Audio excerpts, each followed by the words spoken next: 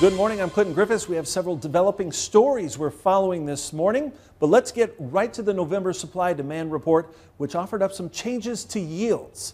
The USDA raising the size of the corn crop again. Now, here's a breakdown. USDA putting corn yields now at over 172 bushels to the acre, with production forecasts at almost 14 billion bushels. That's up 35 million from last month. Soybeans now at 50.2 bushels to the acre. Forecasters specifically saying higher yields in Iowa and Missouri account for much of the change.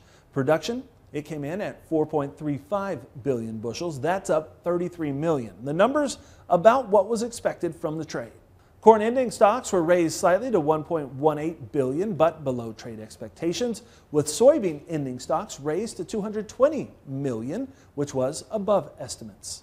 The bean carryout grew by about 20 million. That's roughly 5 to 10 million higher than the average trade guess. Probably the biggest surprise was the corn carryout. It only increased by 10 million, and the government left exports unchanged. Meanwhile, wheat stocks were lowered 5 million bushels to 571 million. That's the lowest level in 15 years.